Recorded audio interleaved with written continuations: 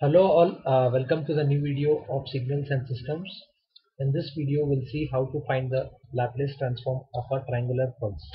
So as you can see this uh, there is a triangular pulse over there. So to find the Laplace transform of a triangular pulse uh, there are two steps. First one is uh, represent the triangular pulse into or uh, as a sum of known functions and then find the Laplace transform. So uh, what does this mean? Represent the triangular pulse into uh, sum of known functions. As you can see, we are familiar with the unit step function.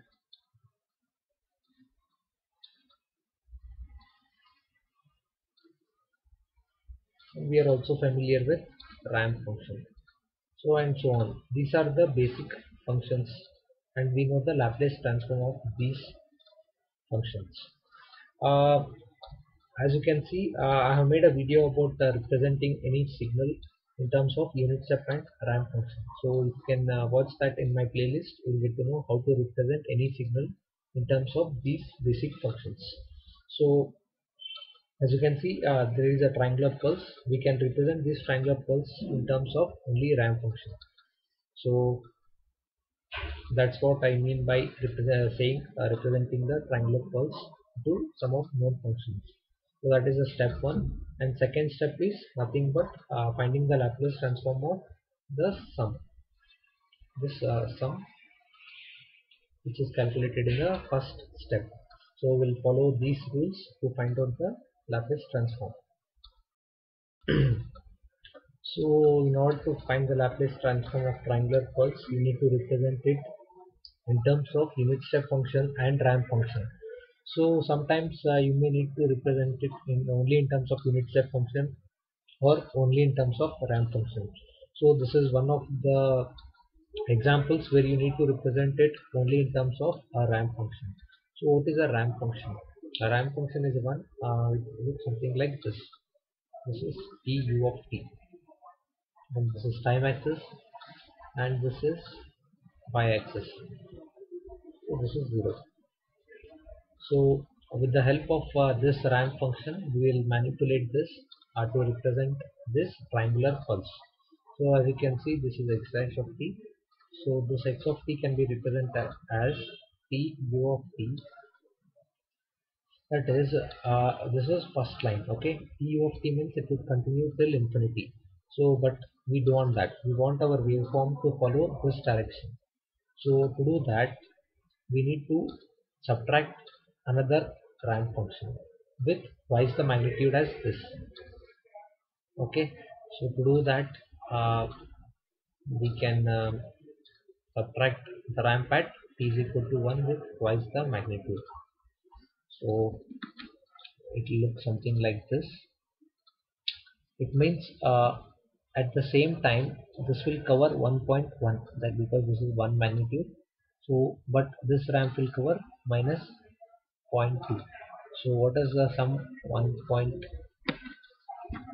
1.1 minus 0.2 is equal to 0.9 okay? So that is here. So it will follow this way.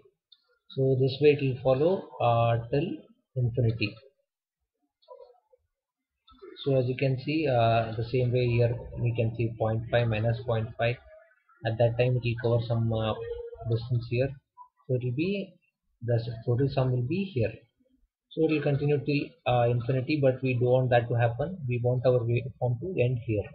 So it means uh, we need to add another ramp over here. So sum the sum of these two will be will follow the zero axis line.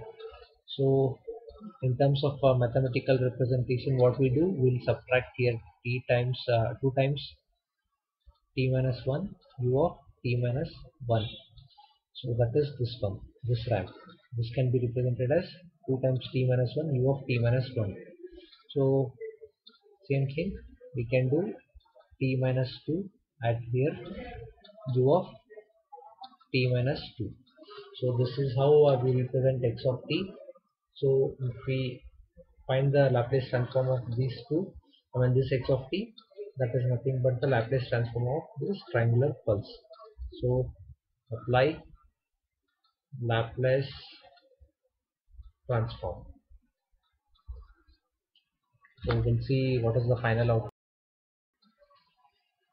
So as you can see, I have represented the triangular pulse x of t in terms of ramp function. Okay, time shifted ramp function.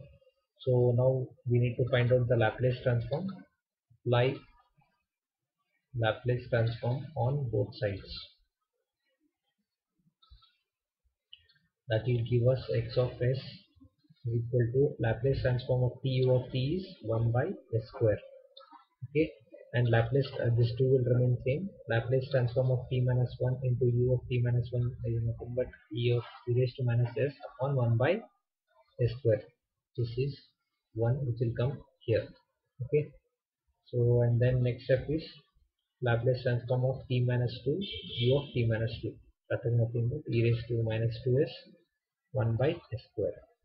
So x of s is nothing but 1 by s square 1 minus 2 to the power uh, 2 into e raised to power minus s plus this is e raised to minus 2s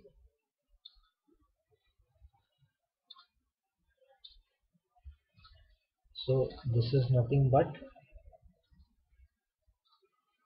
Laplace transform of triangular pulse which is shown in the figure. So that's how you find out the triangular I mean, Laplace transform of a triangular pulse. If you have any doubts please use the comment section. And uh, please don't forget to subscribe our channel. Uh, thank you